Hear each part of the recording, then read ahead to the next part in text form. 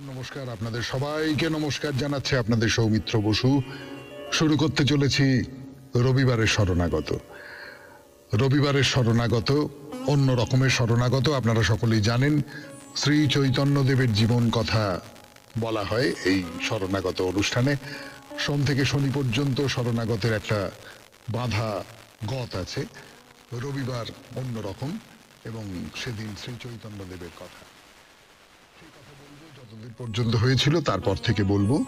কিন্তু তার আগে বেনি মাধব শীলের পঞ্জিকা অনুযায়ী আজকের দিনটার কথা বলি। আজকে তেইশে ভাদ্র, চোদ্দশো তিরিশ, ইংরেজির দশই সেপ্টেম্বর দু রবিবার।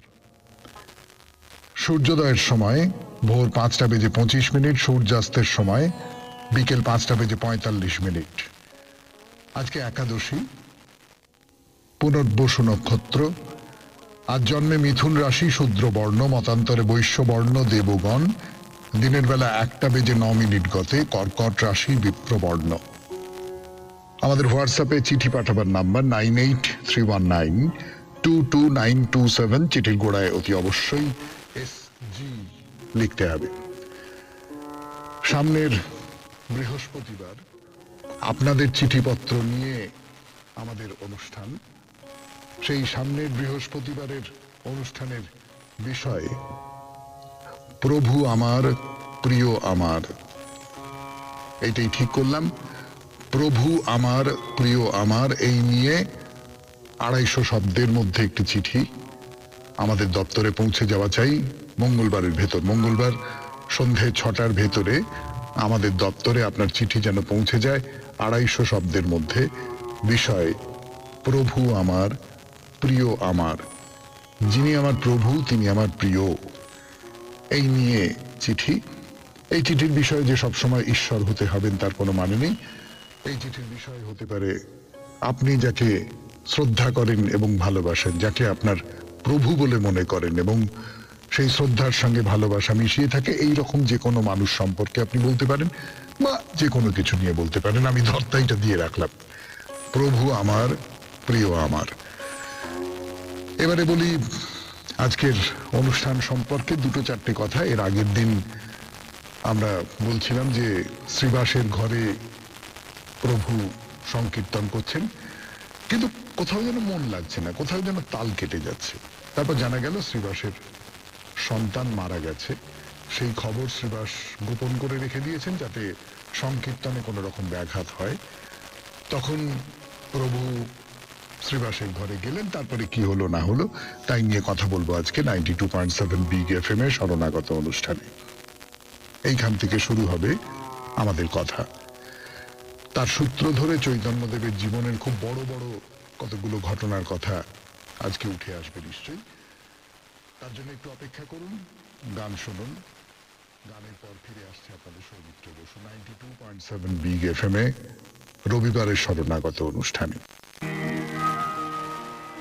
গানের পর ninety two point seven Big F M এ শুনছেন রবিবারের শরণাগত, শ্রী গৌরাঙ্গের শরণাগত, শ্রী চৈতন্যদেবের শরণাগত। তার পূর্ণ কথা বলছি আমি, আপনাদের সৌমিত্র বসু। তো যেটা বলছিলাম যে শ্রীবাস পুত্র শোক পেয়েছেন, কিন্তু সেই শোক চেপে রেখে তিনি মহাপ্রভুকে কীর্তন করতে দিয়েছেন, কিন্তু মহাপ্রভু বুঝতে পেরেছেন কোথাও একটা গন্ডগোল হয়েছে এবং তিনি জানতে পেরে গেছেন যে না, শ্রীবাসের সন্তান মারা গেছে। তো এই যে ভেবে দেখুন যে নিজের ঘরে নিজের সন্তান মারা গেছে, কিন্তু না, মহাপ্রভু কীর্তন করছেন। আমি কোনোভাবে তাকে তার অসুবিধে হতে, দিতে পারি না। আমি কোনোভাবে তার কানে এই রকম একটা কথা তুলে দিয়ে এই কীর্তনটাকে নষ্ট করতে পারি না, এই পরিবেশটাকে নষ্ট করতে পারি না। মহাপ্রভুর কানে যখন গেল তখন তিনি যেটা বললেন, কবিতার ভাষায় বলি, সেটা হচ্ছে, পুত্র শোক না জানিল যে মোহের প্রেমে।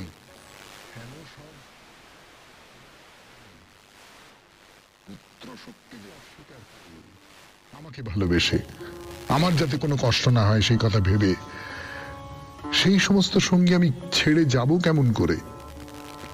তা ভক্তরা ভাবছেন যে এর ভেতরে কি এরকম কোনো ইঙ্গিত আছে যে মহাপ্রভু আমাদের ছেড়ে চলে যাবেন? কিন্তু এর একটা অন্য মানেও তো আছে যে এদের ছেড়ে আমি কি করে যাব? এরা আমাকে এত ভালোবাসে। চলে যেতে পারি।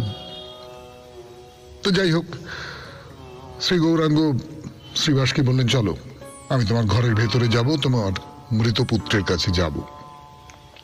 ভেতরে গেলেন। মেঝের ওপরে সেই প্রাণহীন বালকের দেহ শুয়ে রয়েছে। তো তার মাথায় শরীরে আস্তে আস্তে মহাপ্রভু হাত বুলিয়ে দিচ্ছেন।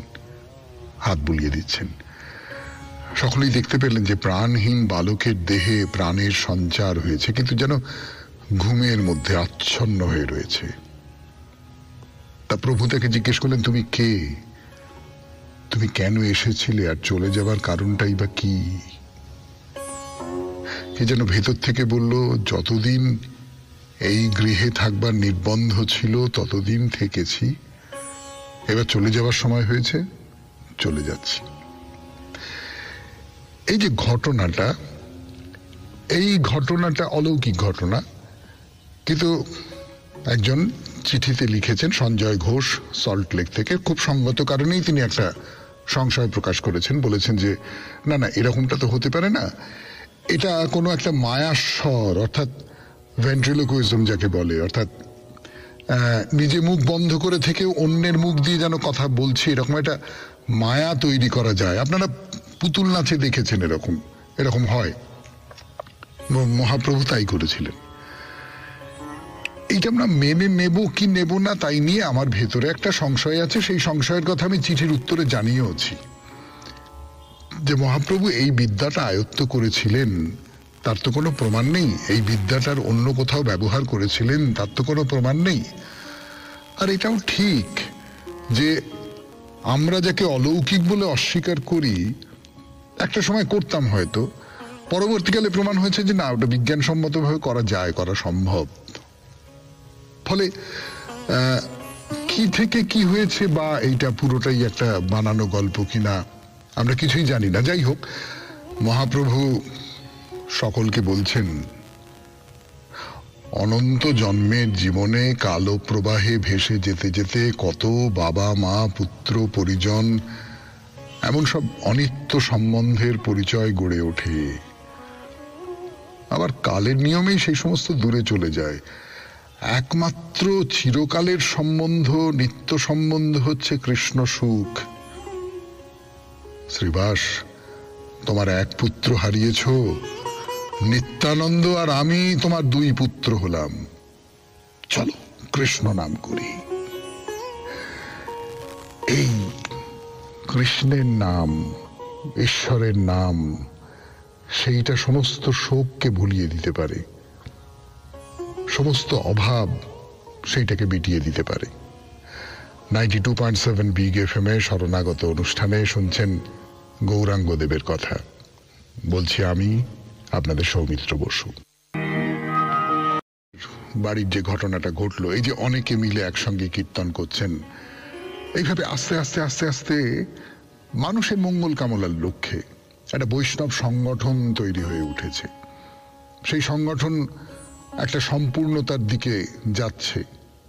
তাদের নিয়ে শ্রী চৈতন্যদেব বা গৌরাঙ্গ, তিনি তাদের নিয়ে প্রেম ধর্ম প্রচার করছেন। ধর্মকে সামনে রেখে কতগুলো সামাজিক আন্দোলন পরিচালিত করতে চাইছেন। অনেকে এসে গেছেন তার মধ্যে।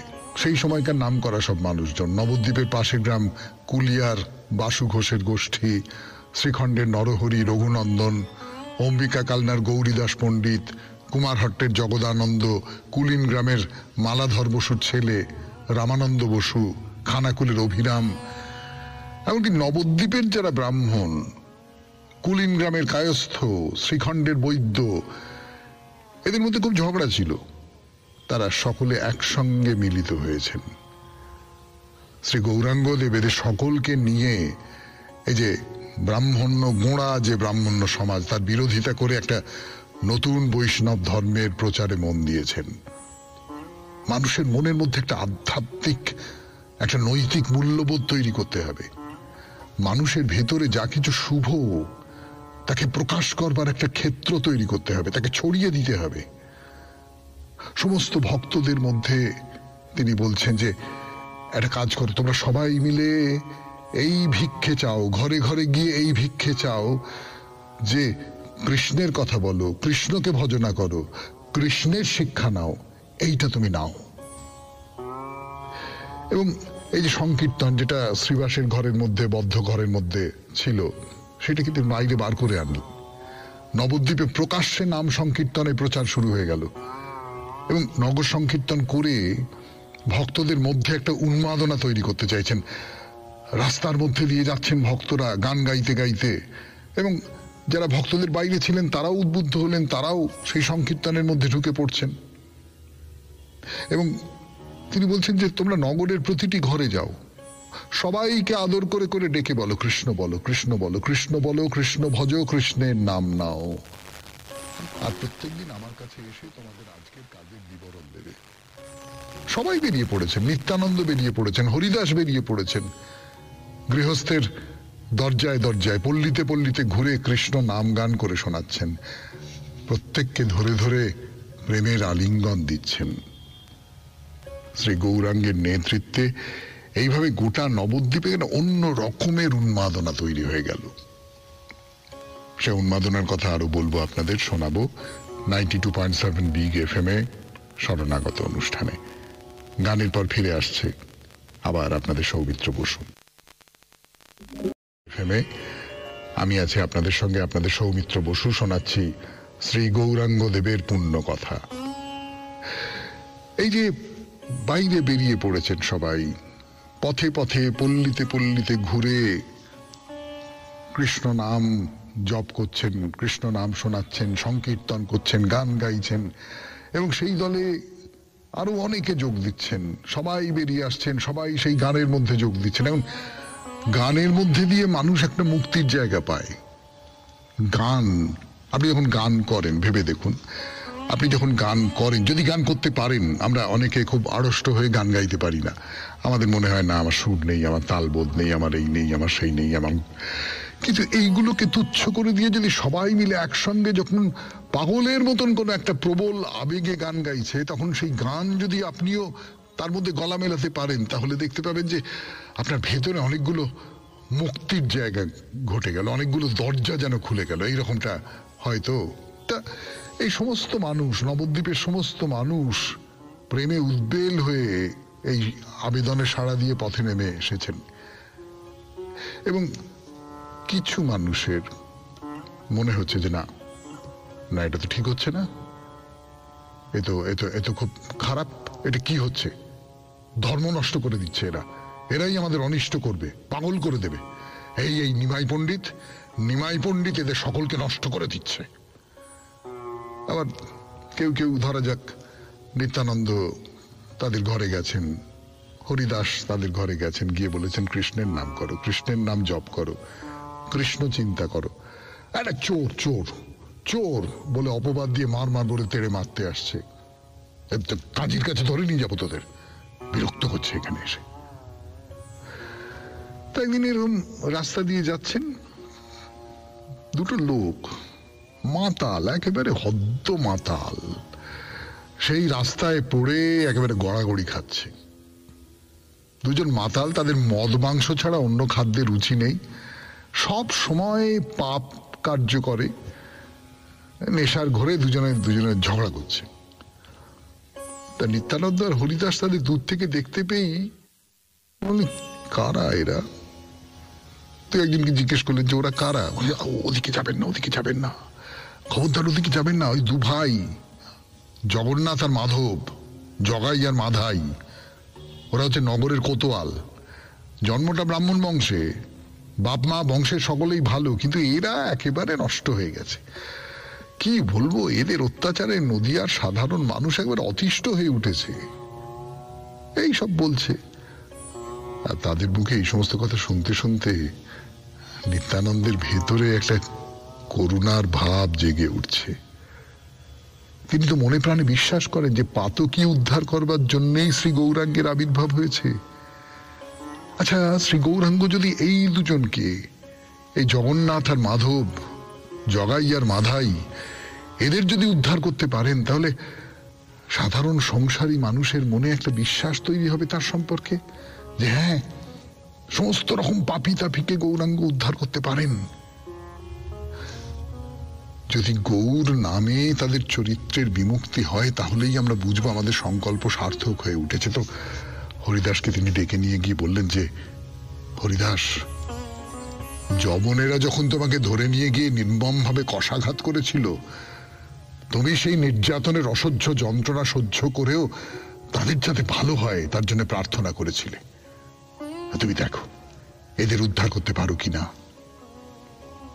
তো হরিদাস, যমন হরিদাস, তিনি বললেন, বেশ, প্রভুর যখন তাই ইচ্ছে, আমি যাচ্ছি। তিনি তো সর্বত্র হরিনাম প্রসারের আদেশ দিয়েছেন। সব মানুষের কাছে হরিনাম পৌঁছে দিতে হবে। এই যে দুজন, জগাই আর মাধাই, এদের কানেও হরিনাম দিতে হবে। সেই পরীক্ষা আমার। তো দুজনে মিলে নিত্যানন্দ আর হরিদাস। দুজনে মিলে সেই যে দুই মাতাল, তাদের কাছে এগিয়ে গেলেন, গিয়ে বললেন যে, কৃষ্ণ বলো, কৃষ্ণকে ভজনা করো, কৃষ্ণের নাম নাও। কৃষ্ণ তোমার মা, কৃষ্ণ তোমার বাবা, কৃষ্ণই তোমার ধনপ্রাণ। বলো বলো বলো, একবার বলো একবার বলো। শুনছেন জগাই মাধাইয়ের উপাখ্যান। হরিদাস আর নিত্যানন্দ দুজনে মিলে গেছেন জগাই মাধাইয়ের কাছে। কৃষ্ণ নাম শোনাচ্ছেন তাদের। Ninety two point seven Big F M এ শরণাগত অনুষ্ঠানে আমি আপনাদের সৌমিত্র বসু। ফিরে আসছি গানের পর। তাদের অত্যাচারে মানুষ একেবারে ত্রাহি ত্রাহি ডাক ছাড়ে। সেই যে জগাই মাধাই হ্যাঁ মদ খেয়ে রাস্তায় একবারে গড়াগড়ি খাচ্ছে আর নিজেদের মধ্যে ঝগড়া করছে দুজনে মিলে। তাদের সামনে নিত্যানন্দ আর হরিদাস গিয়ে দাঁড়ালেন। দাঁড়িয়ে বলেন কৃষ্ণ নাম বলো কৃষ্ণ নাম বলো কৃষ্ণ নাম বলো।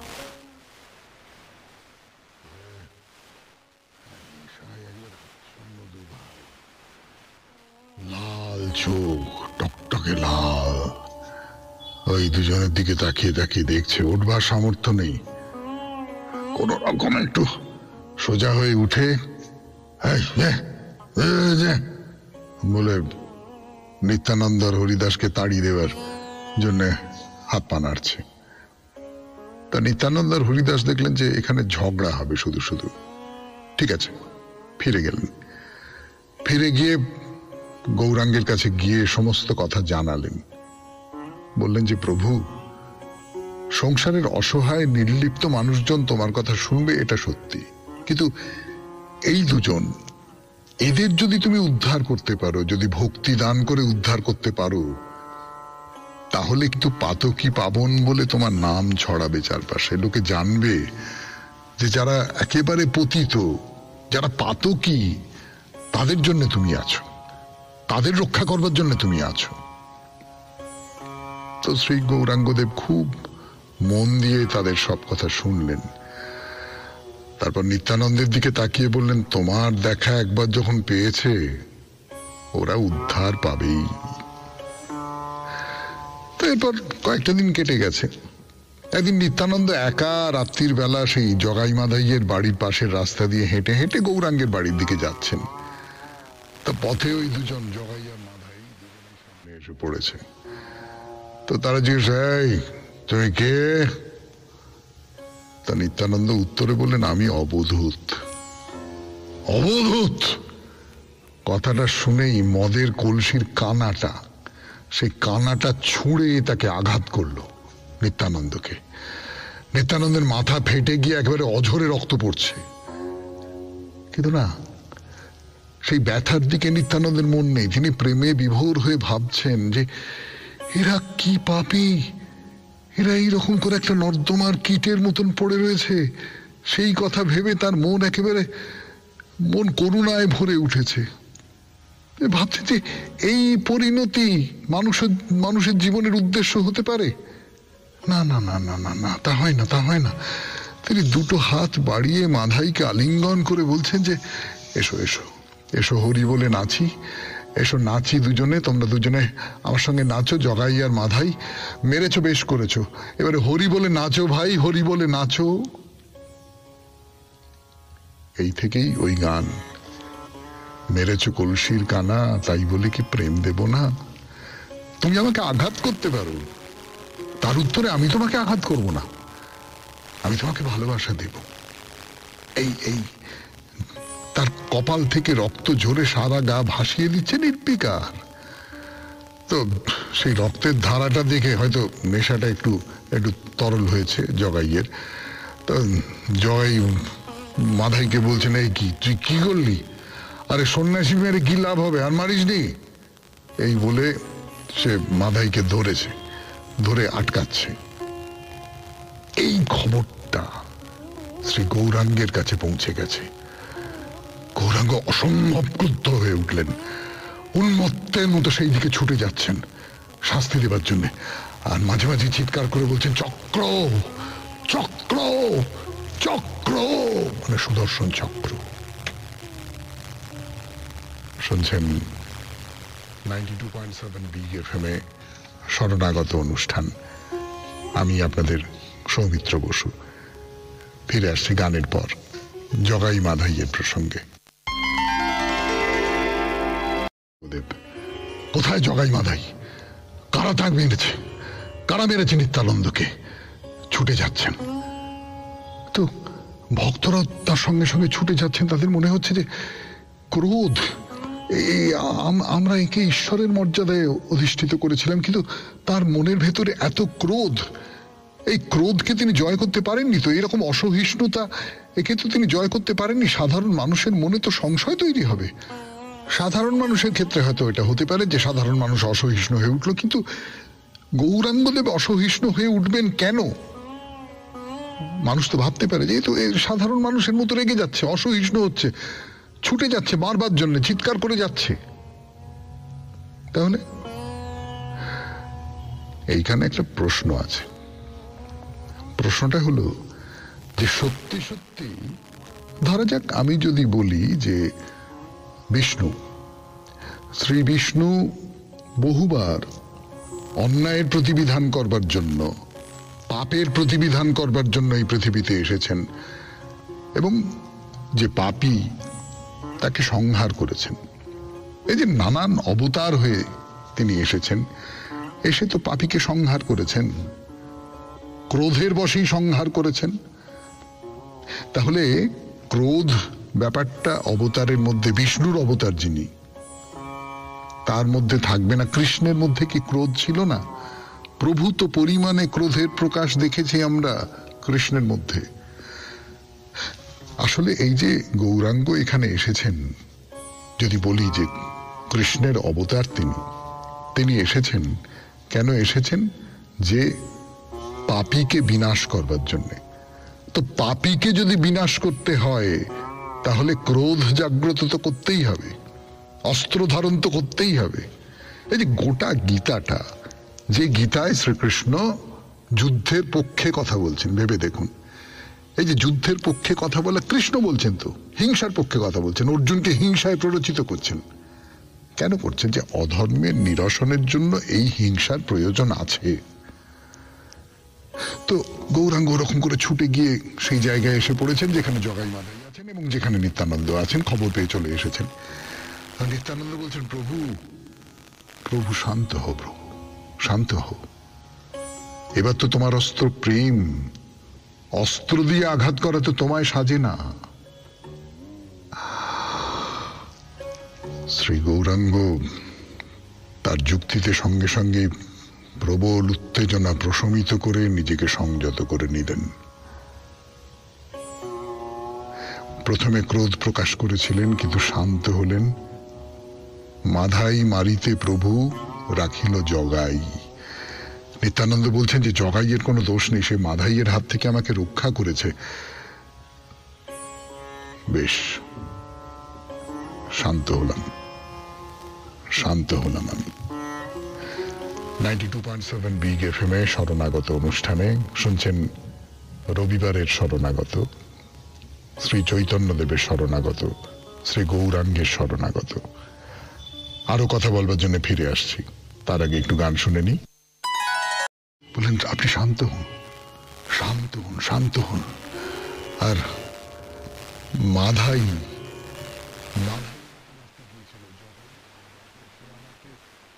মাধাই মারতে না পারে, মাধাইকে আটকেছে। নিত্যানন্দের মুখে সেই কথা শোনা মাত্র শ্রী গৌরাঙ্গ শান্ত হয়ে আবেগে আপ্লুত হয়ে জগাইকে ধরে প্রেম ভরে আলিঙ্গন দিলেন। শুনছেন ninety two point seven Big F M এ, রবিবারের শরণাগত। শ্রী গৌরাঙ্গদেবের কথা বলছি আমি, আপনাদের সৌমিত্র বসু। আলিঙ্গন করেছেন, জগাইকে আর বারবার বলছেন যে, নিত্যানন্দকে রক্ষা করে তুমি আমাকে কিনে নিয়েছো। নিত্যানন্দকে রক্ষা করে তুমি আমাকে কিনে নিয়েছো। তিনি জগাইকে আশীর্বাদ করলেন। বলে তোমার ভক্তি হোক ভক্তি হোক। আর জগাইয়ের ভেতরে কি একটা হচ্ছে, সে একেবারে যেন সম্মোহিতের মতো হয়ে পড়েছে। তার মুখের দিকে তাকিয়ে আকুল হয়ে কাঁদছে। সমস্ত শরীর একেবারে শিউরে শিউরে উঠছে। সে স্থির থাকতে পারল না। মহাপ্রভু পায়ের ওপর লুটিয়ে পড়ল। জগাইকে এইরকম অবস্থায় দেখে মাধাইয়ের মনের মধ্যেও কি একটা হচ্ছে? হঠাৎ এই যে এই যে এই যে যে জীবনটাকে সে পেছনে ফেলে রেখে এসেছে, এই যে পাপের জীবন, অন্যায়ের জীবন, অত্যাচারের জীবন, অসৎ নানান কর্মের প্রবৃত্তির জীবন, সেগুলো যেন তাকে বলছে যে তুমি কি করেছ? এতদিন ধরে কি করেছ? এতদিন ধরে কি করেছ তুমি? মনে খুব ধিক্কার। আমার মুক্তি কেমন করে হবে? হ্যাঁ? নিত্যানন্দের পায়ের ওপর লুটিয়ে পড়ে মাধাই বলছে যে, তুমি একজনকেই শুধু অনুগ্রহ করলে, আমরা দুজনেই তো সমান পাপি। তুমি আমাকেও দয়া করো, আমাকেও দয়া করো। তা শ্রী গৌরাঙ্গদেব বলে, না না, তা হবে না। তুমি নিত্যানন্দের দেহের রক্ত ঝরিয়েছ। মাধাই কাতর হয়ে বলল, তাহলে বলো, কেমন করে আমার উদ্ধার হবে? তুমি নিত্যানন্দকে বলো। নিত্যানন্দকে বলো নিত্যানন্দ যদি ক্ষমা করে, তাহলেই তোমাকে ক্ষমা করা যাবে। তো নিত্যানন্দ বলছেন যে, প্রভু, তুমি মাধাইয়ের অপরাধ ক্ষমা করো। বেশ, তাই হবে। মাধাইকে কিচ্ছু না বলে মহাপ্রভু নিজের ঘরে চলে গেলেন। এদিকে দুই ভাইয়ের মধ্যে তো তীব্র অনুশোচনা তৈরি হয়েছে। কি করল তারা? সে কথা বলবার জন্য ফিরে আসছি গানের পর। শুনছেন শ্রী গৌরাঙ্গের পূর্ণ কথা ninety two point seven Big F M এ শরণাগত অনুষ্ঠানে। বলছি আমি আপনাদের সৌমিত্র বসু। কথা বললেন না। নিজের ঘরে চলে এলেন, তার শিষ্যরাও নিজের ঘরে চলে এলো। এইবারে এই দুই পাপি মাধাই।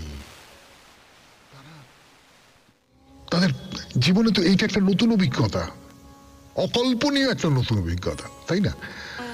তারা দুজনও গৌরাঙ্গের পেছনে পেছনে পেছনে পেছনে যাচ্ছে। সেখানে গিয়ে আত্মনিবেদন করল। তখন শ্রী গৌরাঙ্গ তাদের করুণা করে নিজের দুই হাত বাড়িয়ে দিলেন।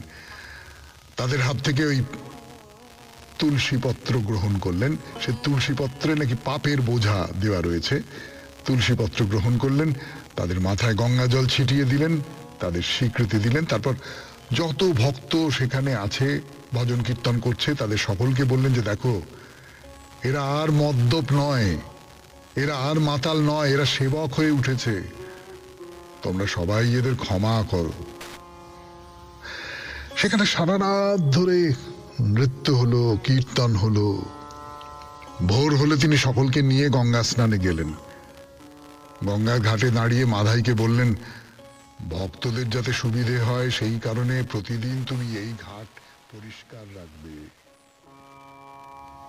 নগরকোটা, সেই মাতাল মাধাই, সেই ত্রাস মাধাই, তার উপর দায়িত্ব দিলেন, প্রত্যেক দিন তুমি এই ঘাটটাকে পরিষ্কার রাখবে। এবং মাধাই সারা জীবন ধরে প্রভুর সেই আদেশ পালন করেছে। সেই ঘাট এখন মাধাইয়ের ঘাট নামে বিখ্যাত। নবদ্বীপে সেই জগাই মাধাইয়ের যে বংশ, সেটা আজও রয়েছে। তো এবার গৌরাঙ্গদেব তার যে গোষ্ঠী, যারা কীর্তন করেন মহাসংকীর্তন শুরু করেছেন। নাম সংকীর্তনই ভক্তির শ্রেষ্ঠ উপায়। নাম করো নাম করো, চিৎকার করে নাম করো, গান করে নাম করো। এবং এই নাম করার ফলে যে আবেগ তৈরি হয়, সেই আবেগে উঁচু বর্ণের লোক, নিচু বর্ণের লোক, এই সমস্তদের মধ্যে যে প্রাচীর ছিল সমস্ত কিছু ভেসে চলে গেল। সবাই মিলে দল বেঁধে হ্যাঁ মৃদঙ্গ করতাল, মন্দিরা সিঙা শঙ্খ বাজাতে। নাচ গান করতে করতে সংকীর্তনের দল নিয়ে গোটা নগর পরিভ্রমণ করছেন। ধুলোর মধ্যে রাস্তার উপর আর যারা অন্য ভক্তিমান মানুষেরা, তারাও নিজেদের ঘর থেকে বেরিয়ে এসেছেন। হরিবল হরিবল হরিবল হরিবল বলে সবাই জয়ধ্বনি দিচ্ছেন। অনেকে আবার ঘর থেকে কলা, বাতাসা, ফল বৃষ্টি নিয়ে এসে ওই পথের ওপর ধুলোয় ছড়িয়ে দিচ্ছেন। আর শ্রী গৌরাঙ্গদেব কি করছেন? সকলের সঙ্গে মিশে গিয়ে নিজেও কাড়াকাড়ি করে লুটে নিয়ে আনন্দ প্রকাশ করছেন। হ্যাঁ এই হলো হরির লুটের শুরু। হরির লুট দেখেছেন তো? বাতাসা ছুঁড়ে দেওয়া হয়, তাও মাটি থেকে কুড়িয়ে নিয়ে ছোটবেলায় আমরা খুব করতাম হই হই করে করতাম। উঁচু নিচু কোনো ভেদ নেই, ব্রাহ্মণ শূদ্র সব এক হয়ে গেছে ধনী নির্ধনের ব্যবধান ঘুচে গেছে, কারুর ভেতরে কোনো সংকোচ নেই। সবাই মিলে একসঙ্গে হরিবোল হরিবোল হরিবোল হরিবোল করে সেই সমস্ত কিছু মাটি থেকে তুলে নিয়ে নিয়ে ভাগ করে, লুট করে খাচ্ছে। এই, এইটা করলেন চৈতন্যদেব। শ্রী গৌরাঙ্গ, মানুষের মধ্যে ভেদাভেদ ঘুচিয়ে দিলেন। ধর্ম নিয়ে আবার ভেদাভেদ কিসের? ধর্ম যার মধ্যে দিয়ে প্রকাশ পায়, সেই গানের মধ্যে আবার ভেদাভেদ কিসের? শুনছেন শ্রী গৌরাঙ্গের কথা রবিবারের শরণাগত অনুষ্ঠানে ninety two point seven Big F M এ আরও কথা বলবার জন্য ফিরে আসছে আপনাদের সৌমিত্র বসু। কথা আর কত বলব? এই যে সমস্ত ভেদাভেদ, এই সমস্ত ভেদাভেদকে দূর করে দিতে হবে। এইটা তিনি চাইছেন, এটা তিনি বিশ্বাস করছেন। ভক্ত পার্শ্বদের নিয়ে নিজের ঘর থেকে বেরিয়ে প্রথমে কাছে গঙ্গার ঘাটে গিয়ে নৃত্য, কীর্তন ইত্যাদি ইত্যাদি হলো। সেখান থেকে মাধাইয়ের ঘাট, সেটা হয়ে শ্রীবাসের ঘরের যে প্রাঙ্গণ হয়ে বারকোনা ঘাট, সেখানে শুক্লাম্বরের বাড়ি পার হয়ে এই যে কোনো সাধারণের জন্য যে গঙ্গার ঘাট আছে, সেইখানে সব নৃত্য, কীর্তন হলো, লোকজন জড়ো হয়ে যাচ্ছে। সেখান থেকে গেলেন গঙ্গানগরে। গঙ্গানগর থেকে কাজীপাড়া হয়ে বামুন পুকুরের মধ্যে দিয়ে এসে পৌঁছলেন শিমুলিয়া বলে একটা গ্রামে। তা শিমুলিয়া থেকে ফেরবার পথে গন্ধবণিকদের বাস সাঁকারিপাড়া হয়ে তাঁতিপাড়া পার হয়ে শ্রীধরের বাড়িতে গেলেন। শ্রীধরের বাড়ির পাশ দিয়ে যাবার সময় হঠাৎ কি খেয়াল হলো? শ্রীধরকে গৌরাঙ্গদেব বলেন চলো, তোমার বাড়ি চলো। শ্রীধর হচ্ছে জাতিতে তাঁতি। এই থোড় মোচা এই সমস্ত বিক্রি করে সংসার চালায়।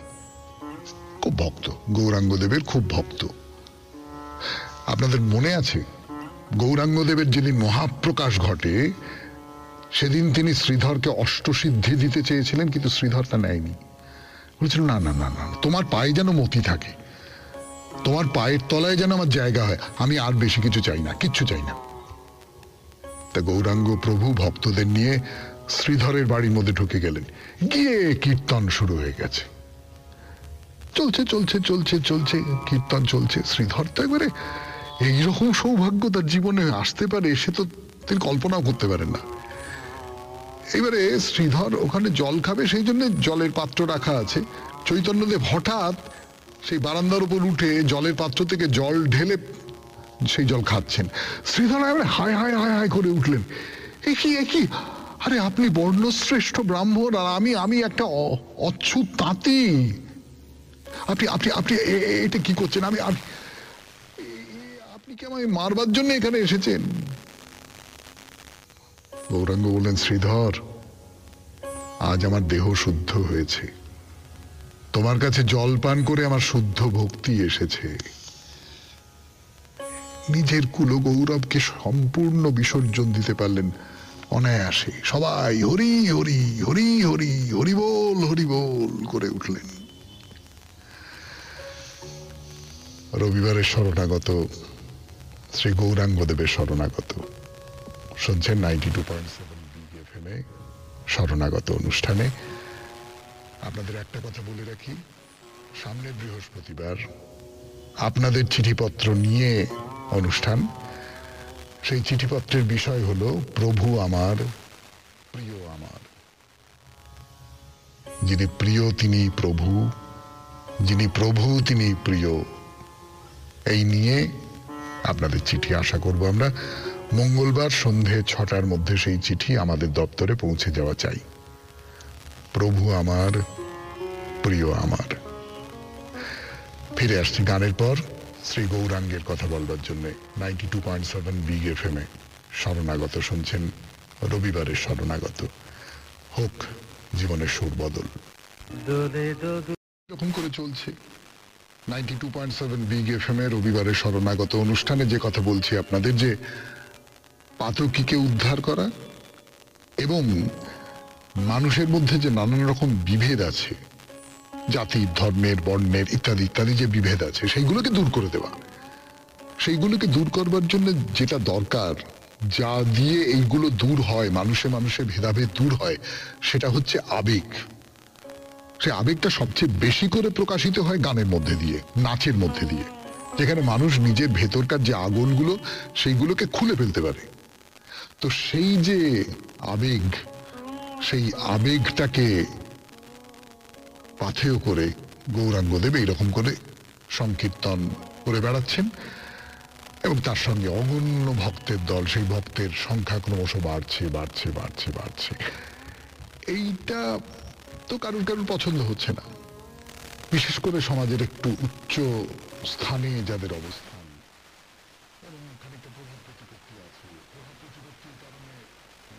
সঙ্গে তাদের ভালো সম্পর্ক তো তাদের মনে হচ্ছে যে একদিন বেশ সুখে শান্তিতে কেটেছে, কিন্তু ইদানিং এই যে নিমাই পণ্ডিত যে কাজটা করছে এটা তো ভালো করছে না। আমাদের যে আমাদের যে জীবনযাপনের যে ধরনটা ছিল, জীবনযাত্রার যে ছন্দটা ছিল, সেটা অবিন্যস্ত হয়ে পড়ছে। তারপরে এই সমস্ত রকম ভেদাভেদ ভুলে গিয়ে সবাই একসঙ্গে হরিণ লুটের ফল খাচ্ছে কি অনাচার হচ্ছে এটা? তো তারা বলা বলি করছে যে না এদের জ্বালায় আর নবদ্বীপে থাকা যাবে না। আর তার চেয়েও যেটা বড় কথা, এই যে নিমাই পণ্ডিত, তার দলে শুধু তো হিন্দু নয়, মুসলমানদেরও অনেকে যোগ দিয়েছে। এবং এক শ্রেণির মুসলমানদের মধ্যে থেকে এইরকম অভিযোগ তোলা হচ্ছে। তো এই সময় এখানে যিনি কাজী ছিলেন, তার নাম হচ্ছে চাঁদ কাজী। এই চাঁদ কাজী একবারে নবাব বংশের সঙ্গে যুক্ত মানে তিনি হচ্ছেন নবাব হুসেন শাহ দৌহিত্র। আরে কাজী কে? কাজী হচ্ছেন খানিকটা ডিস্ট্রিক্ট ম্যাজিস্ট্রেটের মতন। বিশেষ করে প্রশাসনের দিকটা, আইন শৃঙ্খলা, প্রশাসন, এই দিকটা তিনি দেখবেন, তিনি বিচার করবেন, এই সমস্ত মানে নগরের যে শৃঙ্খলা রক্ষা, তার দায়িত্ব, এই, এইগুলো কাজীর ওপরে ছিল। তো কাজীর কাছে গেল সবাই। গিয়ে বলল যে, নিমাইয়ের অত্যাচারে তো নবদ্বীপে আর আমাদের থাকা যাবে না, সারা রাত ধরে চিৎকার করে আমাদের ঘুম নষ্ট করে দিচ্ছে। এমনকি নামাজ পড়বার সময় অসুবিধের সৃষ্টি হয়। আপনি এর একটা বিহিত করুন। তো কাজী তাদের কথা খুব মন দিয়ে শুনলেন, শুনে বললেন যে আচ্ছা ঠিক আছে ঠিক আছে। তোমরা আরেকটু অপেক্ষা করো, আমি একটু খোঁজ খবর নিয়ে দেখি। তো সেই সময় শহরের প্রান্তে উত্তর পশ্চিম দিকটায় মুসলমান যারা ছিলেন, পেশাগতভাবে জোলা, দর্জি, এরকম তথাকথিত নিচু সম্প্রদায়ের মানুষ, তাদের সঙ্গে যারা প্রতিষ্ঠাবান মুসলমান, তারাও একসঙ্গে বাস করতেন। সেখানেই চাঁদ কাজীর বাসা ছিল। তো এখনও ওই শিমুলিয়া অঞ্চলে মুসলমান অধিবাসীরা বসবাস করেন। সেখানে প্রাচীন কবরখানারও সন্ধান পাওয়া যায়। মানে তখন নবদ্বীপের উত্তরে গঙ্গার কাছে ছিল ব্রাহ্মণ পল্লী তার উত্তর অংশে বৈদিক পল্লী, জগন্নাথ মিশ্রের বসতবাটি সেই দিকে। তো কাজী একদিন সন্ধেবেলা বেরিয়েছেন। বেরিয়ে একজন বৈষ্ণবের ঘরে ঢুকে তার মৃদঙ্গ ভেঙে দিয়েছেন। বলেছেন যে, কেউ এতকাল এই সমস্ত নিয়ে কিছু বলেনি, কিন্তু এই এখন তুমি যে কাজটা করছ, এই এই কাজটা কিন্তু করা চলবে না। তোমাদের কীর্তন করা বন্ধ করতে হবে। যদি তা না করো, তাহলে তোমাদের হাত কেটে নেব। কাজীর হুকুম এইটা শুনে তো সকলে খুব ভয় পেয়ে গেছেন। তারা শ্রী গৌরাঙ্গের কাছে গিয়ে বলছেন যে, কাজী তো কীর্তন বন্ধ করবার আদেশ দিয়েছেন। কীর্তন করলে অত্যাচার করবেন, হাত কেটে দেবেন। তো এইরকম যদি অবস্থা হয়, তাহলে তো আমাদের নবদ্বীপ ছেড়ে চলে যেতে হবে। গৌরাঙ্গদেব তাদের মুখে সমস্ত কথা শুনলেন। লাল হয়ে গেছে মুখটা। বলেন বেশ বেশ, আমি দেখছি আমি দেখছি। আমি কাজীর কাছে যাব। কাজীর ঘর ভেঙে দেবো। কাজীর ঘরের দরজায় কীর্তন করব। দেখি সে কি করে। সন্ধেবেলা সমস্ত ঘরে ঘরে আলো জালো দেখব কাজী এসে কেমন করে আমাদের মানা করে। দেখব। শেষ করলাম আজকের Sharanagata. Ninety two point seven Big F M এ শরণাগত অনুষ্ঠানে। চিঠি পাঠাবার number nine eight three one nine two two nine two seven. চিঠির গোড়ায় অতি অবশ্যই এস জি লিখতে হবে। সবাই ভালো থাকবেন। আনন্দে থাকবেন।